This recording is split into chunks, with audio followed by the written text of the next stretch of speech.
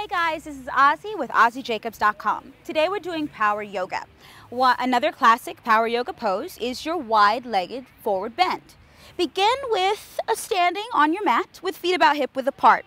Extend your arms out to the sides and you want a wide leg stance. So open your legs wide so that your ankles are directly underneath your wrists.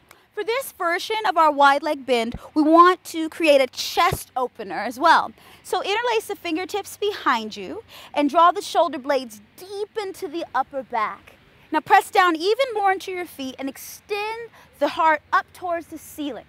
And then on your exhale, forward fold. Hinge at the hips as you allow the crown of the head to release and you allow the knuckles to draw up and then fall towards the floor. Don't force that action. Allow gravity to help you. Now your legs need to be stable here. So press evenly through the heels and the balls of the feet. Draw the outer hips in and lift the inner thighs up. It's like your legs become a vacuum cleaner lifting the mat between or towards your pelvis. And keep breathing here. Each time emphasizing the strength of the legs as they draw up towards the pelvis and releasing the crown of the head down. And again, just let gravity take course and let gravity allow your shoulders to open.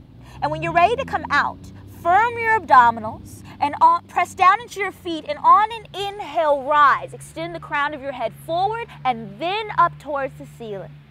Release your arms, bend your knees, and bring your legs together. And that is the wide-legged forward bend.